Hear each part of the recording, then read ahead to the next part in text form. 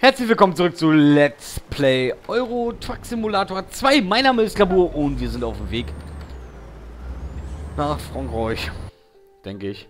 Ja, Frankreich, genau. Und wir sind noch kurz vor... Wir sind kurz vor Liege. Genau, Düsseldorf ist gegenüber, ja. Also noch ein sehr, sehr weiter Weg. Auf jeden Fall. Ja, was gibt es Neues? Ja, es gibt ja eigentlich wieder eine Lachnummer, wenn ich gerade mal so ganz ehrlich bin. Da hat Unreal Tournament 4 ähm, ja, den ersten Test veröffentlicht. Und was muss man verkündigen? Dieses Spiel mit dieser Grafik muss schon für die Playstation 4 heruntergetaktet werden. Also die müssen die Engine abschwächen, dass die überhaupt in der Lage sind, äh, dieses Spiel flüssig auf der Playstation 4 laufen zu bekommen.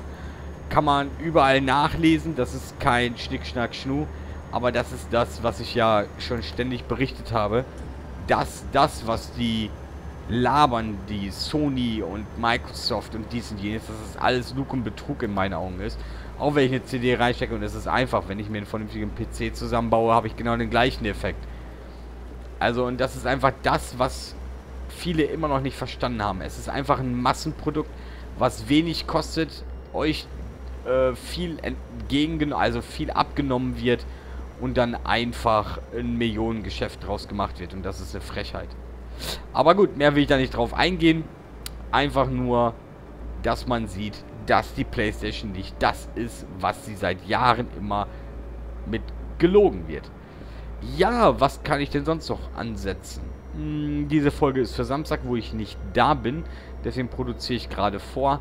Äh, bin gespannt, wie das, Vote aus das Voting ausgeht, wenn ich dann Samstagabend wieder da bin. Äh, immer noch dran denken, bitte Leute, bei Facebook oder unter das Video schreiben, was ich für einen LKW fahren soll. Wäre auf jeden Fall sehr, sehr cool. Oh, ey, immer habe ich so ein Mega-Leck einmal, ne? Ich glaube sogar immer so ungefähr zur gleichen Zeit. Kann ja wohl nicht wahr sein. Jetzt ist der Regen auf jeden Fall vorbei. War ja ein kurzes Scheuerchen, äh, Schauerchen. Da hat es einmal richtig vom Himmel gepieselt. So, gib ihn. Ja, ja, ja, ja, ja. Ja, das wird hier schon. Ja, auf jeden Fall, äh bin ich gespannt, wie das Voting ausgeht, was wir uns dann für einen LKW holen. Ich gehe davon aus, wir werden... Warum ruckelt das jetzt so? Den trete ich gleich in seinen Arsch hier. Ich tritt dir da drüben gleich in deine verlängertes Rückgrat, wenn das gleich hier nicht flüssig läuft. Das kann ja wohl nicht wahr sein. Ja, äh, was soll ich denn jetzt erzählen? Ja, ich bin gespannt, was für ein Voting ausgeht. Also ich werde Sonntag die Folge dann aufnehmen, wenn wir diese Tour beendet bekommen und werde dann äh, den neuen LKW kaufen, das was dann halt gewonnen hat. Ähm, bis jetzt steht ein Ivico, ein MAN. Ja, mehr haben leider nicht abgestimmt. Schade, wenn ich ganz ehrlich bin. Hätte gerne mal gesehen, wie viele Leute sich dafür wirklich interessieren. Ähm... Na komm, bieg ab und schlaf nicht ein beim Abbiegen. Lalalala. Ich glaube, das sollte schon gut klappen so. Wollen wir mal anschubsen? Nein, ne? Wollen wir uns mal benehmen hier heute. Jetzt habe ich ihn abgebockt. Äh, abgewürgt. Guckt, und jetzt halte ich mein Lenkrad gerade und jetzt, das ist das auch gerade. So ungefähr müsste es sein. So. Aber ich habe einfach zu viel. Ich bewege hier mal fast gar nicht. Und da bewegt es sich schon sehr viel. Also ich müsste das einfach mal besser einstellen in dem Sinne. Ja. Aber wenn ich überlege, dass es nicht mal voll ein... Ne, okay. Also da hat man gerade gesehen, wenn ich vom Vollspiel zurückgehe. Ja, was ist denn jetzt hier?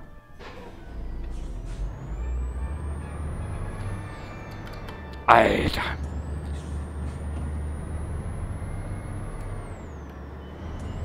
Also das Lecken, das gibt mir gerade hier derbst auch für Nüsse. Jawohl, weiter geht's. Ähm, ja, und dann bin ich gespannt, was gewinnt. Und dann haben wir ja auch zwei Fahrer, die dann für uns fahren werden, weil ich werde den hier ja nicht verkaufen, sondern den LKW hier bekommt dann äh, den Fahrer, den wir jetzt haben und der, der neue Fahrer bekommt dann den alten, würde ich sagen. Genau. Dann werden wir mal abwarten. Ja, so ein aufgetuntes Stückchen hier kriegt doch nicht jeder Fahrer.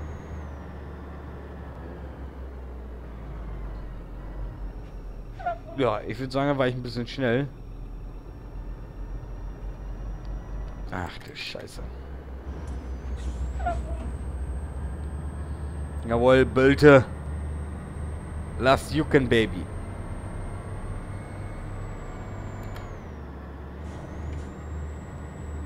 Ah, oh, wie schön der pfeift. Das ist angenehm. Also, das muss ich wirklich sagen. Sehr, sehr angenehm. Auch der neue Motorsound, den wir drauf gemacht haben, ist wirklich sehr cool. Äh, einmal F4. Frontlichter und Dachlichter sind montiert, äh, sind an. Weil es fängt... Ne, es ist 10.15 Uhr. Es müsste eigentlich heller werden. Ich hätte gerade gedacht, wegen den Lichteffekten auf der Straße würde es dunkler werden. Aber anscheinend steht die Sonne jetzt so ein bisschen doof.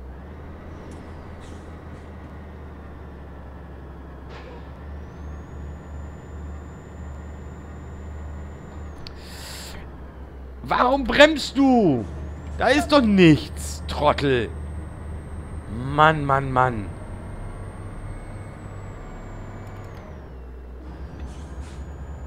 Kann ja wohl nicht wahr sein hier. So. Lassen wir uns mal richtig jucken hier. Jetzt habe ich schon wieder so gesagt, ne? Also wenn ich bald mit dem, mit dem Spawny die Wette eingehe, ja, und nach jedem so muss ich mir einen trinken, ja, dann Prost Mahlzeit. Aber ich glaube, dann wird der Spawny nur noch so, so, so, so, so sagen. Nein, keine Ahnung. Müssen wir mal sehen. Ähm, ja, bei Minecraft ist ja auch zurzeit sehr lustig. Wir sind da ja in der Mine. Und dies und jenes. Macht schon mega Laune. Ähm... Ja, wann Pro Evolution Zocker kommen, da haben wir jetzt auch schon wieder welche gefragt. Weiß ich noch nicht, werde ich noch gucken. Ich muss das erstmal antesten, weil viele dann gleich schrieben, ja, online, online. Leute, ich kann nicht online spielen gehen, wenn ich das Spiel noch nie gespielt habe. Ja? Vielleicht mache ich, was weiß ich, ein paar Folgen äh, Singleplayer und dann mal schauen, wie es dann weitergehen wird.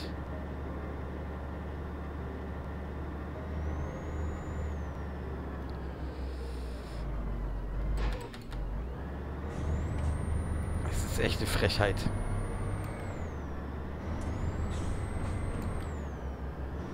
Ja, du siehst jetzt zu, dass du jetzt da Gas machst, ja, oder ich schieb dich an hier. Ah, VW, typischen VW da vorne. Auto fürs Volk, schon klar.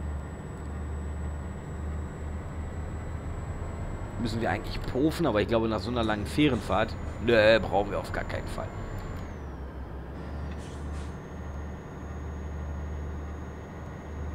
auf jeden Fall gut Modtech machen. Ich bin mal gespannt, wie, äh, wann es endlich mal neue News über das DLC gibt beim Euro Truck Simulator. Also das wird mich ja wirklich mal sehr, sehr reizen, wenn ich ganz ehrlich bin, ja. Was es da so Neues gibt. Ich weiß, dass es in Polen was geändert wird, also die Euro in Europa so ein paar Städte. Aber halt, mich würde auch gerne interessieren, ob es da halt noch mehr Sachen zugeben würde. Ja, komm, keine Ahnung, also es würde schon sehr reizbar sein, um sowas zu hören, wenn ich ganz ehrlich bin. Was ich auch mal geil finden würde, wenn jemand im Map machen würde, die wirklich stimmen würde. Zum Beispiel von Deutschland, dass man wirklich nach Hannover fährt und es sieht alles da sehr exakt aus. Sowas wäre mal richtig geil. Ich weiß, es ist saumäßig viel Arbeit, aber ich glaube, wenn Euro Truck Simulator so ein Spiel rausbringen würde, dann kann man auch mal ruhig 50 Euro dafür bezahlen für so einen Aufwand. Aber man hätte noch mehr Spaß an dem Spiel, wo ich finde, dass die Landschaft hier schon sehr geil ist, ja, wo wir nach Holland gefahren sind, dass da Radwege links und rechts waren und all sowas, also so kleine Details, so dass hier überall Busch, Büsche sind und sowas. Das ist schon sehr cool. Warum habe ich heute eigentlich so einen Bleifuß? Kann mir das mal einer sagen? Jetzt machen wir hier mal ein bisschen Tempomat an. Jawohl. Haben wir hier einen konstanten Bleifuß, ey. Der Fuß ist ja nur unten in der Ölwanne. Glaube, hier dürfen wir jetzt eh schon mal beschleunigen wieder. Zwar noch kein Schild gesehen, aber so dürften wir jetzt hier keinen Ärger bekommen. Wir nehmen auf jeden Fall beide Spuren. Der hinter uns soll ein bisschen warten. Jawohl. Wieder runter mit dem Garcia. Na, da kommen wir jetzt mit Sicherheit eine Ampel oder so. 50. Jawohl. Auf jeden Fall, ähm, um nochmal auf die Playstation zurückzukommen, finde ich das eine Lachnummer. Wenn man überlegt, ähm, dieses Spiel, die Konsole kommt erst zum Weihnachtsgeschäft. Ja, bis dahin kommt auch schon wieder eine neue Nvidia-Grafikkarte. Auch von ATI, ja, ich weiß, aber es geht jetzt einfach mal ums Prinzip. Und ähm, die 680er ist jetzt schon schneller, wie die von der Playstation. Ähm, ja, die Titan ist dreimal schneller wie eine Playstation und auf dieses Niveau wird die nächste Grafikkarte sein. Ähm, die nächste Generation von Nvidia, das haben sie angekündigt. Und dann muss man sich mal wirklich überlegen, das ist eine Lachnummer, Leute. Ja, es ist eine Lachnummer, dass sich eine Konsole zum Weihnachtsgeschäft rauskommt, ja, und sie nicht mal die Anforderungen der nächsten Generation der Spiele schaffen wird. Auf der Detailstufe, die wir am PC spielen. Also, wenn ich ganz ehrlich bin, es ist eine Lachnummer. Ja, und dann zu sagen, oh, das ist High-End. Das ist die neue High-End-Konsole von Sony PlayStation. Soll ich euch eine ganz ehrliche Antwort geben? Das Ding können sie sich untere Morpheus schieben oder ganz perivers äh, untere Kimme schieben, wenn ich ganz ehrlich bin, ja. Es ist einfach kein High-End. Es ist eine einfache, stinknormale Konsole. Ja, und kein High-End oder irgendwelchen anderen Dönikes-Kram. Und das finde ich einfach so eine übelste Lachnummer, dass man dazu High-End sagt, was nicht mal die nächste Generation der Spiele schafft. Also, ja. Aber zu Hardware-Komponenten habe ich mich ja schon genug geäußert mit äh, SLI oder Crossfire halt und dies und jenes. Dass man halt sich vorher Testberichte durchlesen soll. Wie viel Performance man aus einer Grafikkarte mit dem SLI-System rausholen kann und dies und jenes. Und aus dem Grund könnte in dem Sinne jedes Spiel immer volle Pulle spielen. Es ist egal, wie man es macht. Man muss nicht mal volle Pulle Geld investieren. Man kann auch weniger Geld investieren. Und ich kann trotzdem jedes Spiel auf High-End spielen. Ja, und ich finde es einfach nur eine Lachnummer, dass nachher die Playstation 300, weiß ich nicht, 300, 400, 500, 600, 700 Euro kosten wird. Keine Ahnung. Äh, damit befasse ich mich auch nicht, weil ich würde niemals einen Cent dafür ausgeben, wenn ich ganz ehrlich bin. Na, ich kaufe mir lieber 690er und gebe dafür Geld aus und weiß, was ich habe. Bin ich ganz ehrlich. Ähm, und habe mehr Spielspaß, habe mehr äh, grafische Effekte. Ja, kann auf eine Auflösung gehen, da träumt der Führer von. In Spiele.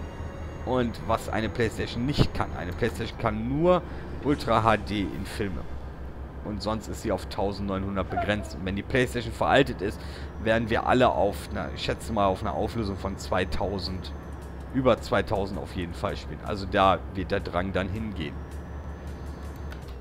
Es liegt einfach daran, ich finde es einfach ein bisschen Betrug, was sie mit einem machen. Ja, also, und dann, äh, so wie ATI und AMD sagen, ja, Nvidia kann nicht mit Komponenten arbeiten, deswegen sagen sie, die Playstation ist scheiße. Die Playstation ist einfach scheiße. Ja, und Nvidia hat auch gesagt, sie würden da nie wieder ein Geld für reinstecken in so eine Konsole, weil es einfach ein Marktbremser ist, ja. Man muss sich wirklich sagen, guck mal, wie äh, Quaises etc., die Quaises Engine wird noch schlimmer, ist schlimmer wie von Animal Tournament. Ja, was passiert da mit Quaises 3 dann? Ja, läuft das dann auch nur auf äh, minimale Abspeckung wieder, dass es so ein bisschen Details mehr sein wird. Also keine Ahnung. Also ich sage, wenn das Ding im Winter kommt, dann können wir ja davon ausgehen, dass äh, im Februar, März, so wie jetzt, auch wieder geile Spiele rauskommen werden, die dann schon nicht mal mehr auf Volldetails auf der PlayStation 4 laufen werden. Und das finde ich ärgerlich für Leute, die das Geld dafür ausgeben. Steckt lieber das Geld in den Computer oder hört lieber ganz auf zu zocken. Und die Xbox wird auch nicht viel mehr Leistung haben. Also davon gehe ich vollkommen aus. Das ist immer ungefähr das gleiche. Weil sie nämlich auch gar nicht wissen, wohin mit der Temperatur. Das ist nämlich einfach das Problem, wenn ich überlege, meine Grafikkarten schmeißen hinten, wenn man sie voll lastet, zwischen 70 und 80 Grad hinten raus, wenn man sie mit Propellern betreibt. Ja, wenn man sie auf Wasserkühlung setzt, ist das ganz was anderes. Aber wo soll das in so einem kleinen Gehäuse hin? Wohl bemerkt. Das muss man ja wirklich mal dazu sagen. Bei mir ist es halt Wasser, aber trotzdem, es geht einfach ums Prinzip, Leute. Es hat einfach was mit dem logischen Denken zu tun, finde ich, dass so eine Playstation niemals, und das ist nicht unterstellt oder irgendwas, niemals an eine Leistung eines PCs herankommen kann. Klar, habe ich einen 1800 Windsturmrechner, ist das logisch. Ja, aber trotzdem, wenn ich mit dem aktuellen Markt mitlaufe, kann eine, PC, eine Playstation niemals einen PC schlagen. Und sie wird auch das niemals schaffen. Weil wir einfach viel mehr Volumen haben, wo wir was unterbringen können. Ja, also wenn ich mir überlege, die 96er ist schon genauso groß wie äh, die Playstation. Also vielleicht ein bisschen übertrieben, aber es ist halt einfach so. So ein Ding kannst du gar nicht da reinproppen. Das ist einfach das, was keiner verstehen will. Ich will da jetzt rüber. Lässt du mich jetzt rüber oder muss ich dich so ein bisschen drängeln? So, haben wir ein bisschen gedrängelt. Auf jeden Fall fahre ich die Tour zu Ende, Leute. Geht das Video ein bisschen länger. So, Blinker setzen und... Oh, oh, oh, oh, oh, da waren wir die Räder in der Luft. Da war ich doch wohl etwas schnell. Aber passt schon. Ja, auf jeden Fall werde ich dieses Thema jetzt erstmal nicht mehr ansprechen. Klar, gibt es natürlich wieder neue News, wird es darüber wieder berichtet werden. Äh, über ATI oder so kann ich zurzeit nichts berichten. Es werden keine News großartig veröffentlicht, auch nicht über Treiber, bei Nvidia zurzeit auch nicht. Es gibt zurzeit keinen Beta-Treiber, sondern nur den aktuellen, wo eigentlich alle Spiele auch gut drauf laufen. Bei Bioshock könnte noch ein bisschen besser sein, bei Tomb Raider auch, aber das macht halt nichts. Damit kann man leben. Ähm, bei Windows 7 gibt es was. Genau, Leute, ihr müsst aufpassen, wenn ihr Windows 7 habt oder Windows Vista. Es gibt ein Sicherheitsupdate für die Festplatte, das heißt 3324 hinten am Ende. Müsst ihr einem Protokoll gucken, das müsst ihr wieder deinstallieren. Sucht mal danach, informiert euch darüber, wenn ihr das installiert habt. Dadurch könnt ihr einen Bluescreen bekommen. Kennt ihr jemanden, der einen Bluescreen hat, der soll bitte das Betriebs den Rechner runterfahren, ist logisch. F8 beim Hochfahren drücken, danach auf Wiederherstellungspunkt gehen, also wiederherstellen und den Rechner wieder zurücksetzen. Und danach sollte das Problem beseitigt sein. Ja, sonst gibt es auch eigentlich gar nichts großartige News anzukündigen. Äh, das mit Windows ist wirklich sehr wichtig. Kümmert euch darum. Also ich habe ihn drauf. Ich habe kein Problem, aber die Forums sind voll davon. Und auf der Firma hatten wir damit auch übelste Probleme. Also daher. Äh, ja. Kann das halt davon kommen. So, jetzt werden wir... Oh, werden wir probieren, das irgendwie hinzubekommen. Den, das gute Stück hier reinzuzirkeln, ohne nach draußen zu gucken. Ja. Und mir ein Kollege hat sich meine Videos angeguckt und gesagt, dass du nach draußen guckst. Du kannst dann echt auch nicht den Arm nach draußen halten, äh, den Kopf. So, ja, ist ja in Ordnung. Jawohl. Ha. Wenn einer nochmal sagt, ich kann kein LKW fahren, ne? Der hat keine Ahnung. so, da gucken wir gerade uns den Auftrag an. Was... Na. T müssen wir da drücken. Ausgezeichnet. 776 Kilometer Dauer, 28 Stunden und 9 Minuten. Verbrauchter Kraftstoff 383,3 Liter. Äh, Basisvergütung 776 Kilometer. Äh, Kontostand 23.000. Auf jeden Fall haben wir Level Up. Bingo! Level 18, Leute. 34.480 Euro haben wir bekommen und 1.332 EP. Das ist wirklich heftig. Also leck mich an den Fußnägel. Jap, jap, jap, jap. Fortfahren.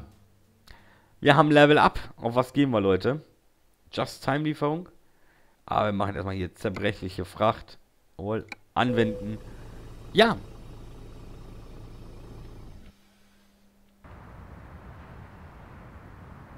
Na, pfeift er nicht? Oh. Ja, ich sage auf jeden Fall Schaui Laui, bis zum nächsten Mal. Ich wünsche euch noch einen schönen Samstag. Wir hören uns alle am Sonntag wieder. Bis denne. Ciao, ciao. Und denkt daran, voten oder drunter schreiben, welchen LKW ab Sonntag kaufe ich einen neuen LKW. Bis denne. Ciao, ciao.